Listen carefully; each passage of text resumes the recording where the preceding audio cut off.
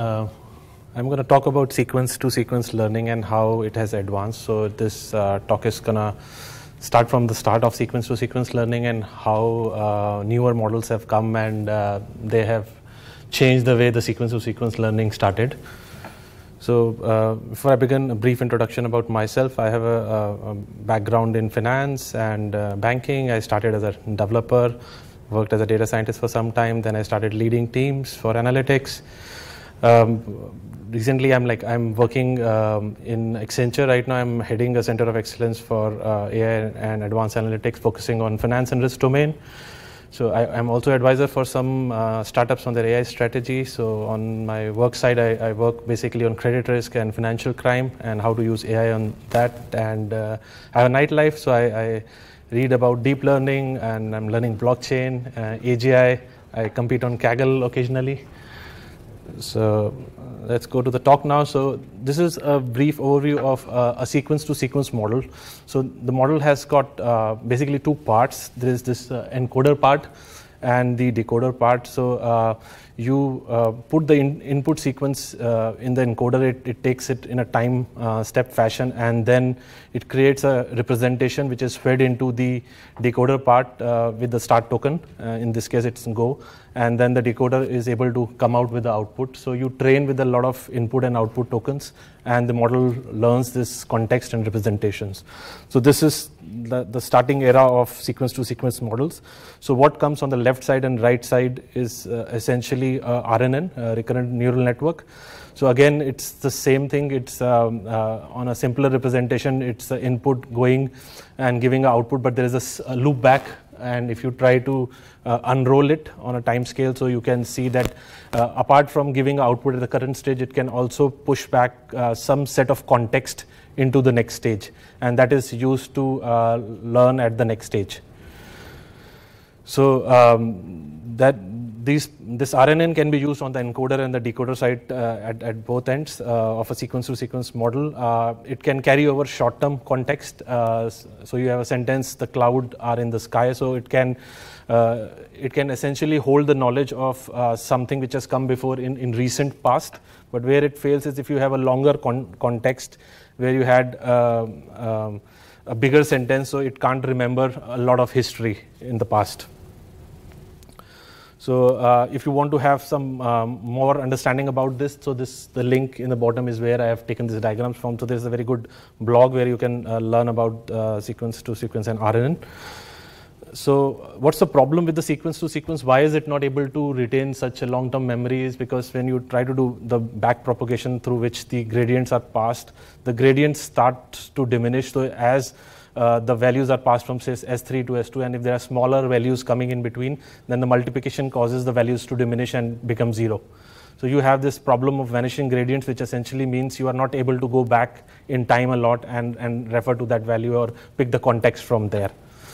So with this problem what do you do now? Uh, so um, before that, okay. So the, another way to represent the RNN simply is I have just uh, taken this slide to draw the comparison with the next slide. So essentially, you have input and the the last state which is coming uh, from the previous state of the model, and then you have a simple function in this case the tanh, which is allowing you to uh, combine both the both the input and output and and, and uh, generate the output of this stage.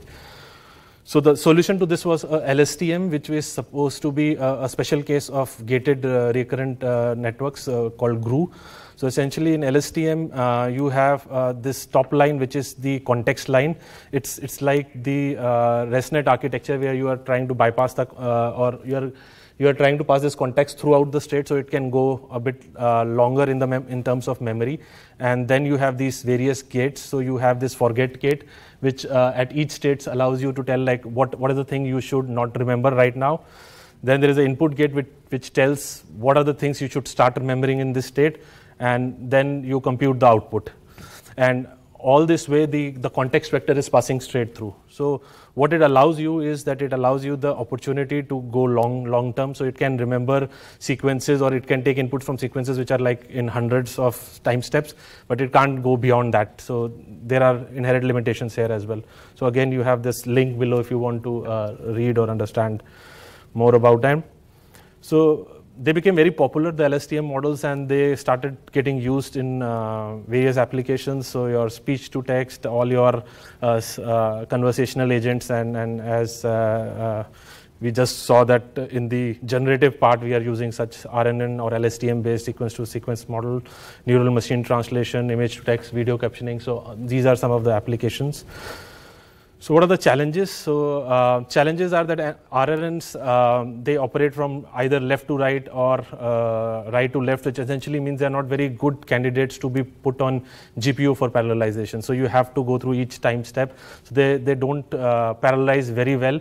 So what can we do? Then CNN comes to the rescue. So the next evolution was to try and use CNNs, who, which are much more uh, computationally parallel, parallelizable on GPUs. So before I jump into the, the details of models which are using CNNs, let's talk about another concept called attention. So in the sequence to sequence model, as uh, you have the left part is uh, um, the encoder and the, the right part is the decoder, but the way humans uh, look at a sentence when they're answering is they take a glance at the thing rather than going step by step and reading the thing again. So that's the conceptual level understanding of attention. So you have uh, you create something called as attention weights from each state and uh, attention vector, a context and a vector, which can be then referenced in each stage of the decoder to look back at the full input sentence and then pick up the things which are most interesting out of that. So uh, now we move back to the uh, the convolutional part of it, the sequence sequence model. So this is a, a, newer set of models. So you have the uh, encoder on the top of the model, you have the decoder on the bottom left, and if you see the encoder and decoder are actually um, giving their inputs to the attention module, which is nothing but a, a, dot product, and then finally the uh, uh, as in a normal uh, uh, sequence to sequence model, from the top to the bottom, you can see from that side that the encoder value is coming, it's getting modified by the attention parameters, and the bottom part of decoder is, is, is able to glance through those values and pick up what is the important concept, and then based on that, the output comes. Now, here again, the the triangles that you are seeing are convolutional uh, uh, layers, so they are computationally more uh, efficient. Uh, so rather than having uh, simple LSTMs, we are using uh, convolutional layers here. So they can parallelize uh, even more better. So this is a paper on from which I have taken this diagram. So there are a lot more details here if you want to glance at it. So this is uh, the application of the convolution based models for encoder decoder in neural machine translation, which has been done at Facebook. So this is kind of showing you how these models are while decoding the output, they have a glance at the entire input and they, they, they are able to use attention mechanism to pick up, but then they are basically convolution based models which are more efficient to compute as well. Okay, so then um, there is something called as temporal convolution network, which is another set of models, another set of advancements. Uh, and uh, here you see this uh, block of residual uh, part. So this is the uh, this is the uh, um, um, kind of function which has all the convolutional layers and the uh, nonlinear layers, which create a unit of work, and it has also got this optional bypass layer and then uh, you have this uh, you, you can create these in various uh, uh sequences. So you have a value of k which essentially means how many layers uh, deep you are going to go. And then at each factor you have a dilation factor means how much are you going to skip in each convolution so basically you are stacking these convolutional layers on top of each other and and using them to get more meaning out of the data. So essentially what's uh, what's the advantage here is that number one, they are convolutional based, so they, they are more computationally efficient. But then the second time, they are able to look back in memory substantially more, like a wider span on the memory, even more than LSTMs. So they can really look back in memory. So this is the example of WaveNet 2. Although WaveNet 2 is not uh, an encoder decoder, it's a generative model, but it essentially used the dilated uh, convolution neural network. So this is kind of a representation of how it um, uh, used the same similar kind of architecture to train the uh, WaveNet 2 models. Then while all this was happening, uh, Google was writing this paper uh, called, a very interesting paper called Attention is All You Need. So this is again a, a next step in the um, uh, encoder-decoder uh, uh, paradigm. So essentially now there are a couple of parts to this. So first, let's look at the left side and the, the scalar dot product. So essentially, you have a query vector, a value vector, and a key vector. So key and value is what you have encoded, and then you query those values. So there are these mathematical functions and uh, scaling factors, masking factors, and this scalar dot product is, report, uh, is, is represented as a multi-head attention wherein you have multiple such uh, scalar dot product or attention modules which are uh, going on. And if you see uh, on the left side, lo- left part of this architecture is, is uh, the encoder part, the right side is the decoder part. So, and uh, there are NX means that there are many layers of it, so there can be like six, eight layers of this thing stacked on top of each other. So now if you try to compare it with the previous LSTM model, which was like a sequential uh, uh, set of inputs going through, this is a, a, different way of looking at the same thing. So I'll, I'll, go into the parts of this now. So on the left side, on the encoder part, you have this something called as uh, self uh, attention, uh, which is a value of key value pairs, which basically, uh, so from each step of the model uh, from the pre so because there are number of layers here. So each uh, layer is able to get the key value and uh, the query part. So all the three values are seen or, or can be uh, attended from the the last layer of the model. So it's able to look at all the representations of the the, the previous layers and then it's able to create a, a, a representation. Then that then would be fed forward to the feed forward network and then will go to the decoder part of the network Okay, so on the right side is the similar thing, a, a, a kind of a self-attention again on the decoder side. So you have again the three inputs coming, the query, the value and key uh, inside the decoder part. And here the special thing is this masking because uh, you need to prevent the leftward flow of information essentially uh, to pr preserve the auto-regressive property. So they mask uh, anything which is not required with a, with a minus infinity to make sure that you don't get uh, uh, these values through. Then the next part of the model is on the decoder part, the above. So here the key thing is that the, the key and value part is coming from the encoder. So this is what you want actually. You want the encoder parts, key and values to come and the decoder is able to query on them. So the decoder is now able to see over the uh, whatever representation the input part has created.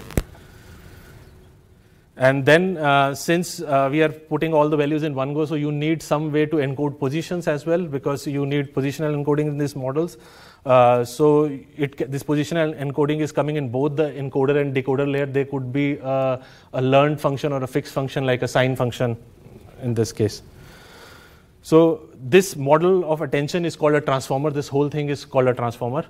And uh, after this, there were a lot of applications of uh, transformers which uh, led to various other uh, advancements and papers. So I think Martin is going to cover this probably in a little more detail. Uh, but this is a recent paper on uh, from OpenAI on improving the language understanding.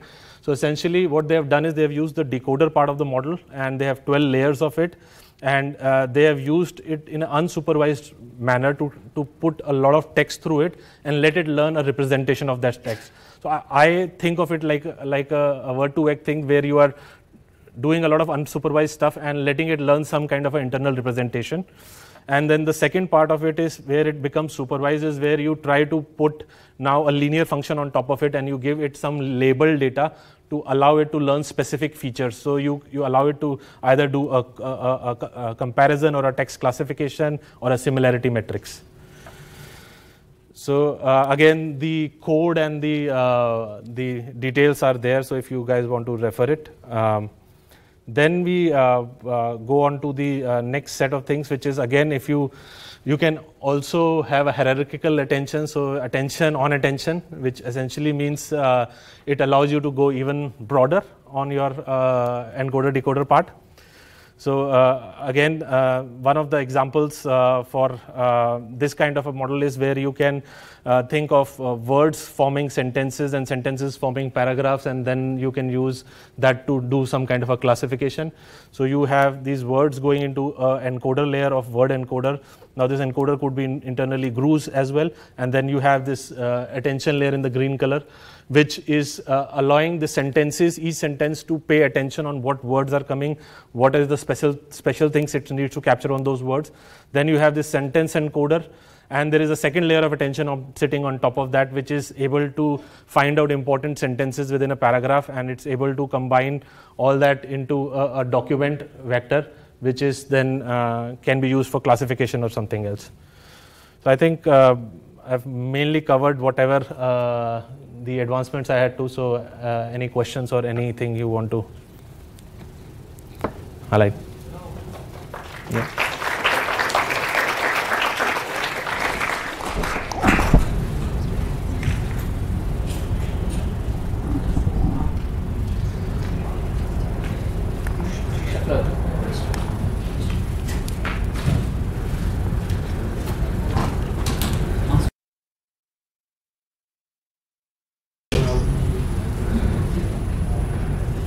My thing's going to take a while to set up, so have some questions.